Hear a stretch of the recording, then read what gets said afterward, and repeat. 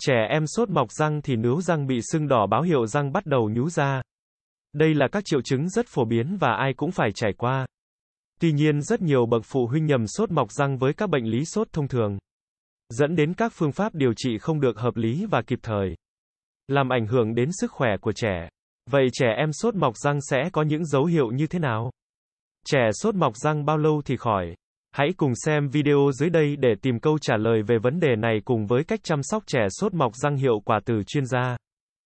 1. Khi nào trẻ em sốt mọc răng? Trẻ em bắt đầu mọc những chiếc răng sữa đầu tiên trong giai đoạn từ 4 đến 7 tháng tuổi. Một số bé có thể mọc sớm hơn hoặc muộn hơn thế, thông thường thứ tự mọc răng của trẻ sẽ bắt đầu từ hai răng cửa dưới đến hai răng cửa trên.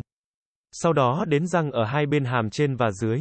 Răng hàm và răng nanh là kết thúc quá trình mọc răng sữa, sau khoảng 3 tuổi trẻ sẽ có khoảng 20 chiếc răng sữa, trong quá trình trẻ mọc răng cha mẹ cần quan sát thật kỹ quá trình mọc răng của trẻ có đang đúng không? Và một số vấn đề về răng miệng của trẻ như sâu răng hay sún răng. Để có thể có những phương án xử lý kịp thời tránh làm ảnh hưởng đến sự phát triển của trẻ, một số bé mới chào đời đã có sẵn một đến hai chiếc răng và một số bé mọc răng chỉ sau vài tuần sau sinh. Việc mọc răng quá sớm có thể ảnh hưởng đến quá trình bú sữa hay các vấn đề khác về trẻ. Khi đó cha mẹ cần đưa bé đến bác sĩ để kiểm tra, thông thường trong quá trình mọc răng sẽ gặp phải tình trạng trẻ em sốt mọc răng. Nó khiến cho nhiều mẹ không biết đó là sốt mọc răng, mà tưởng là bé sốt thông thường.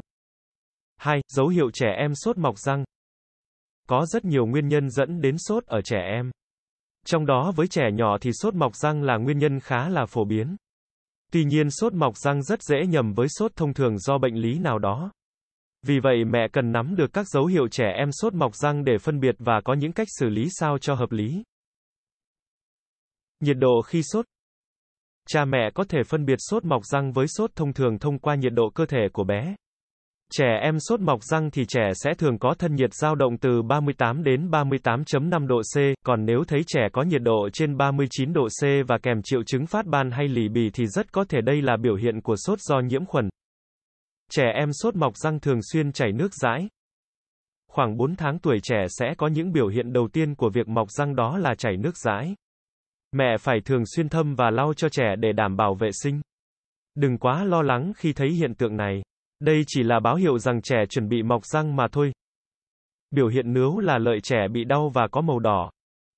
Khi trẻ em sốt, mẹ sẽ quan sát thấy răng nướu của trẻ sẽ bị sưng đỏ lên. Mẹ có thể kiểm tra để nắm bắt được những thay đổi của trẻ. Hoặc có thể khẳng định rằng có phải trẻ em sốt mọc răng hay không. Trẻ em thường cho tay vào miệng. Trong quá trình mọc răng thì bé cảm thấy ngứa ở chỗ răng chuẩn bị mọc. Do đó trẻ thường đưa tay vào miệng và thích cắn các đồ vật cứng cứng. Khi mầm răng được nhú lên thì lợi của trẻ sẽ cảm thấy hết ngứa ngay. Chính vì thói quen này của trẻ trong quá trình mọc răng, nên mẹ cần phải vệ sinh thật sạch các dụng cụ đồ chơi xung quanh bé. Để tránh tình trạng nhiễm khuẩn ở trẻ xảy ra, làm nặng thêm tình trạng trẻ em sốt mọc răng. Trẻ em sốt mọc răng thường ho nhiều. Đây là biểu hiện có hoặc không có ở một số trẻ. Đôi khi ho sẽ kèm theo sốt. Mẹ cũng cần chú ý đến tình trạng này của trẻ. Nếu mẹ phát hiện ra trẻ ho kèm đờm đặc hay đờm xanh vàng, thì ngay lập tức cho bé đi khám. Vì có thể lúc này bé đang bị bội nhiễm ở xung quanh vùng lợi. Trẻ em sốt mọc răng thường quấy khóc. Khi trẻ mọc răng sẽ thường cảm thấy khó chịu. Do đó trẻ quấy khóc, chán ăn thường xuyên. Điều này sẽ khiến cho trẻ không được bổ sung đủ chất cho quá trình phát triển và mọc răng. 3. Trẻ sốt mọc răng bao nhiêu ngày khỏi? Trẻ em sốt mọc răng được coi là hiện tượng sinh lý bình thường của trẻ.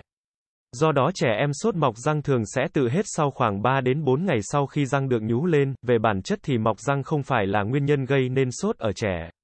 Mà trẻ em bị sốt là do quá trình nướu răng bị rách, gây cọ sát và tổn thương, tạo điều kiện cho các vi khuẩn có hại xâm nhập vào cơ thể bé. Đây là nguyên nhân gây trẻ em sốt mọc răng. Để chống lại sự xâm nhập của các vi khuẩn có hại, hệ thống miễn dịch tự nhiên của có thể sẽ có phản xạ sốt. Đây là một có chế có lợi, thường trẻ em em sốt mọc răng hết sốt vài tuần hoặc một tháng. Sau đó trẻ sẽ lại tiếp vì chiếc răng tiếp theo sẽ lại mọc lên cách đợt nhau. 4. Cần làm gì khi trẻ em sốt mọc răng? Cách chăm sóc trẻ sốt mọc răng.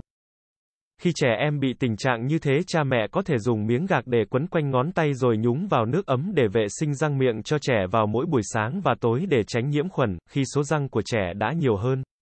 Cha mẹ có thể cho bé bắt đầu ăn dặm được rồi thì cũng có thể cho bé sử dụng bàn chải đánh răng mềm để vệ sinh răng miệng nếu bé đang bị đau nướu do mọc răng.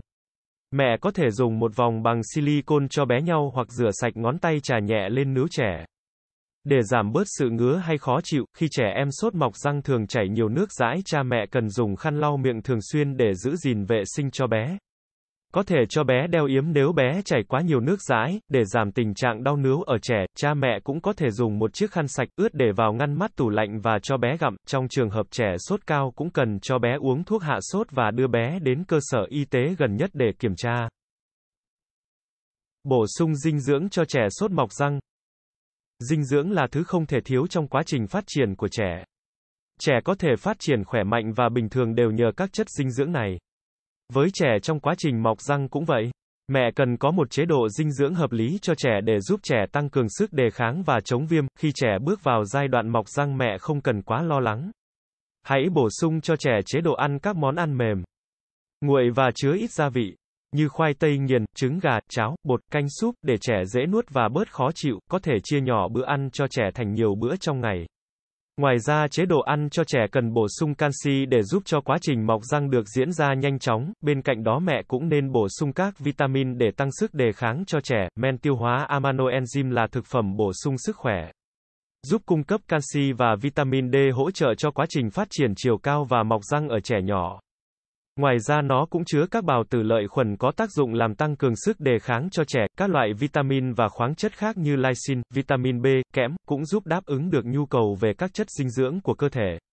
Ngoài ra nó cũng hỗ trợ cho đường tiêu hóa, giúp trẻ ăn ngon miệng hơn và tăng cường hấp thu các chất dinh dưỡng để trẻ phát triển khỏe mạnh. Nếu như vẫn còn bất kỳ thắc mắc nào, hãy liên hệ ngay cho chúng tôi theo hotline 092 919 7777 để được tư vấn và hỗ trợ một cách nhanh nhất hoặc chat trực tiếp Facebook Thầy Thuốc Lê Minh Tuấn. Cảm ơn các bạn đã theo dõi video của chúng tôi.